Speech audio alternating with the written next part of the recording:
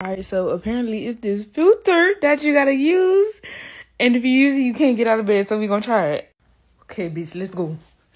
Alright, shit, hold on, hold on, we can do this, bitch. Bitch, what the fuck?